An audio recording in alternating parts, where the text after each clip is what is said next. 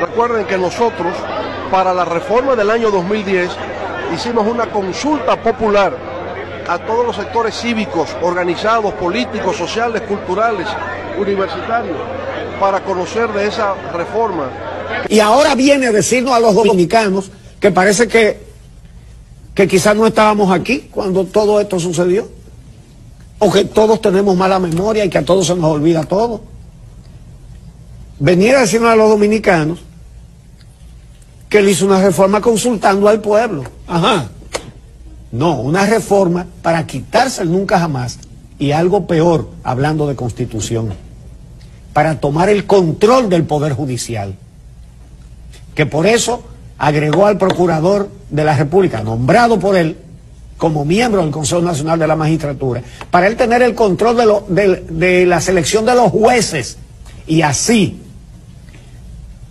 puso a Mariano Germán como presidente de la Suprema Corte. Así puso a Radamés Jiménez como Procurador General de la República. A, cuadros políticos de su partido y de su lealtad. Y puso a Mocoso Segarra, a Franzoto, a Hirojito Reyes en la, en la sala penal, en la estratégica sala penal de la Suprema Corte, la que tiene que juzgar los casos de corrupción. Y de ahí en adelante todos eh, recordamos a Félix Bautista haciendo así la 2L, al derecho y al revés, cuando le dieron el no al lugar. Así vimos cómo le prohibieron a la fiscal del distrito investigar a Víctor Díaz Rúa de casos que tienen que ver con lo que está siendo acusado ahora. Entonces, defensor de la constitución, defensor de la democracia, de la institucionalidad.